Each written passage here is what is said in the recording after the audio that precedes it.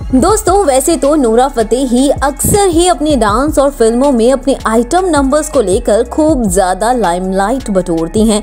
लेकिन आज नूरा ही अपने डांस को लेकर नहीं, बल्कि उनके गुरु यानी कि टारंस लुइस की ऐसी हरकत को लेकर लाइमलाइट बटोर रही है। जी हाँ दोस्तों, इन दिनों Bollywood actress Nora Fatehi dance reality show India's best dancer में बतौर जज नज़र आ रही हैं।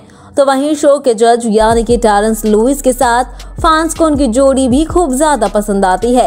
दोनों अक्सर स्टेज पर डांस करते हुए एक साथ कई बार नज़र भी आते हैं। लेकिन बीते दिनों दोनों का एक साथ में एक वीडियो सोशल मीडिया पर काफ़ी ज़्यादा वायरल हुआ था, जिस पर कि काफ़ी ज़्यादा बवाल भी मचा हुआ है। वीडियो में टारेंस का हाथ नोरा के बैक पर लगता हुआ नज़र आया था। आप ये वायरल वीडियो हमारे इस वीडियो के ज़रिए भी देख सकते हैं, जिस पर लोग अपनी नाराज़गी जता रहे हैं। आपको बता दें कि इस वीडियो में नोरा फतेही ने रेड कलर के शिमरी गाउन पहना हुआ है, जिसमें वो बेहद ही खूबसूरत नज़र आ रही हैं। दरअसल, लोगों ने टारंस पर कई सारे मीम्स भी बनाए हैं, और उनकी इस हरकत पर जमकर उनका विरोध भी किया। इसके बाद इस पूरे मामले पर अब कोरियोग्राफर टैरेंस ने भी ट्रोलर्स को एक करारा जवाब दे ही दिया है। तो वहीं टैरेंस के इस पोस्ट पर नोरा ने भी कमेंट किया है।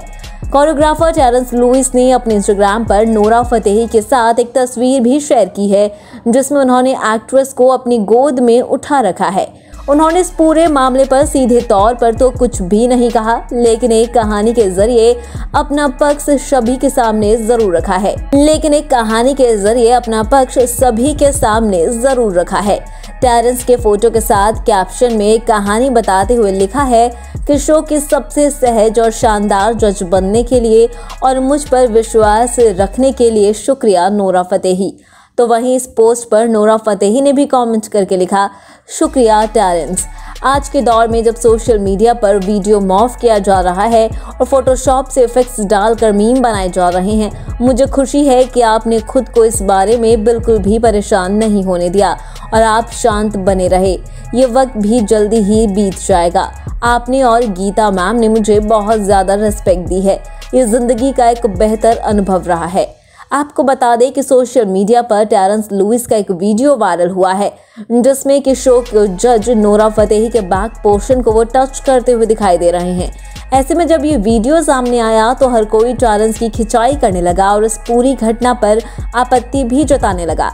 आपको बता दें कि कुछ दिनों पहले ये खबर आई थी कि मलाइका अरोड़ा को कोरोना टेस्ट पॉजिटिव पाए जाने के बाद नोरा फतेही ने इस शो को बतौर जज ज्वाइन कर लिया है। तो वहीं जब से इस तरह के मीम्स अब सोशल मीडिया पर शेयर किए जाने लगे हैं तभी से लोग टेरेंस लुइस पर तरह तरह की बातें करने लगे हैं। उनके कैरेक्टर पर तक उंगली उठाने लगे हैं और उन्हें शो से बाहर निकालने की भी बात करने लगे हैं। वेल आपको बता दें कि इस वीडियो में रत्ती भर भी सच्चाई नहीं है, बल्कि नोरा फतेही खुद ये बात कह चुकी हैं कि ये वीडियो फोटोशॉप किया गया है। वेल दोस्तों, आपका इस वीडियो के बारे में क्या कहना है? आपको क्या लगता है, क्या सच में टर्नस लुइस ने सभी के सामने नोरा फतेही के साथ बदतमीजी की है या फिर नहीं? हमें अपनी राय कमेंट करके ज़रूर बताएँ। अगर आपको हमारी ये वीडियो पसंद आई तो इसे लाइक कीजिए और शेयर कीजिए। साथ ही टीवी इंडस्ट्री से जुड़ी ऐसी चटपटी और मसालेदार खबरें जानने के लिए हमारे चैनल को सब्सक्राइब करना बिल्कुल ना भूलें।